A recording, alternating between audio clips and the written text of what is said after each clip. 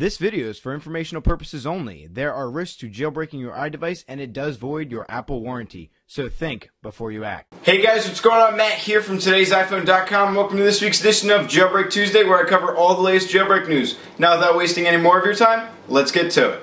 So starting the news off this week, Sn0wBreeze and Seas0nPass were both updated to support Apple TV on iOS 5.0.2. The second piece of news I have for you guys is that Pod2G has come out and said he already has parts to the jailbreak for iOS 6.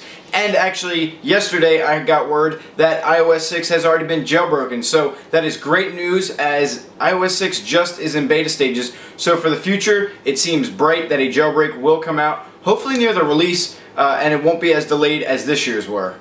Now, unfortunately, that's all the news I have for you guys this week, but I did want to throw in my opinion regarding iOS 6 and if it has left me satisfied enough to no longer jailbreak. And no, it hasn't. Uh, that was a very quick answer because, you know why? Because I don't have Quick Reply. I don't have IntelliScreen X. I don't have Dashboard X. I don't have widgets. Things that a lot of us really thought Apple was going to revamp in the UI, they didn't. And they've changed the UI to lighten up in some areas, darker in others, and have the original blue colors. I mean, there's just it seems like a whole theme mashed together. Now it still looks like it's going to be the smoothest experience I have with a smartphone device, but you know, not having quick reply like that's huge. biteSMS is a fantastic application which replaces the SMS app and is you know a go-to for me. Right when I jailbreak, I get that, and then I have IntelliScreen X. So.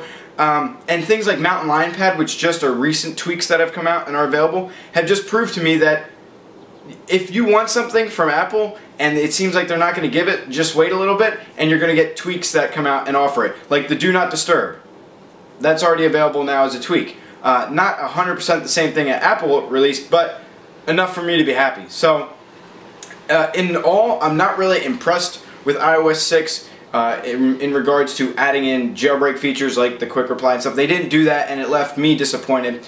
So what is your opinion regarding iOS 6? I'm really curious. And are you going to wait or are you going to try and jump on that beta and lose your jailbreak? Uh, leave the comments down below. I'll be sure to respond.